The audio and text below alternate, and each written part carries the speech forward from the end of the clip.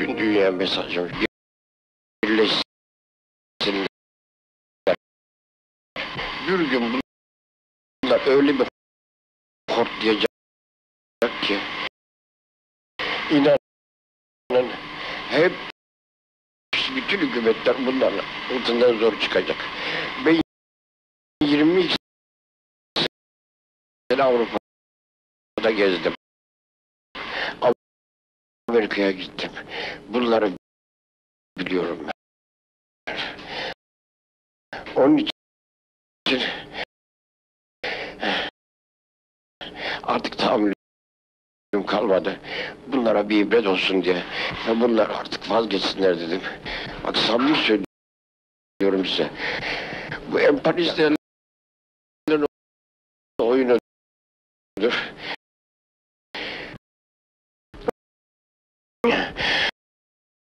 Bu emperyalistlerin oyunu. Kalkın Türkiye'yi karıştıracaklar ve Türkiye'yi yani bir harbe sürüklemek istiyorlar. Türkiye harbe sokmak istiyorlar. Gayeleri bu Ermenileri rahatsız ettirmek ve ne bileyim böyle vurdurmak, öldürmek dünya kamuoyunda Türkiye'yi kötülemek ve bütün dünyaya hükümetlerine rica ediyorum. İnanın gözümü kırpmadan yine kendimi intihar ederim yani. Bakın ben e, kararım bir saniyede değiştirdim. Kararım Fransız konsolosunun önündeydi. Çünkü başlangıçlar bunlardan başlandı. Eğer bunlar o zaman bu terbiyesizlere cezalarını vermiş olsaydı bunlar bu kadar şımarmayacaklardı. Bunlar bir avcılığı için buna göz yumdular ve bu hale getirdiler. Ben orada intihar ediyordum. Şöyle düşündüm. Dedim ki sadece bunları tutuyorlar. Daha kötü olur diye vazgeçtim gittim. Atatürk'ün huzurunda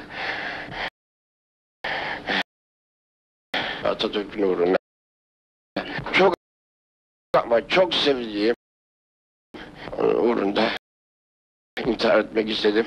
Yine de yapamıyorum. Hiç gözümü yummam. Kimseye danışmadım. Kendi kendime karar verdim. Bu işi yaptım. Vatanım uğruna her şeyi yaparım. Sizi diyor. Birleşmeleri demiştin. Çok doğru. Evet. Bütün dünya diyorum. Ayrım etmiyorum. Bunlar birleşsinler. Ne olur yalvarırım. Bunlar kökünü kazısınlar.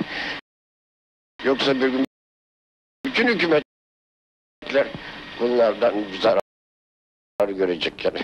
Yabancı devletlere söyleyeceğim şudur. Birleşmeyle bu anarşistlikler ortadan kaldı. Anarşistik suç işleyip de yakalanıp da onların ufak tefek tehditleriyle bunu örtmez ederlerse sonu bir gün onlara çevrilir. Ve pişman olur yani bu. Bu hareketi de daha bin defa yapabilirsiniz öyle mi?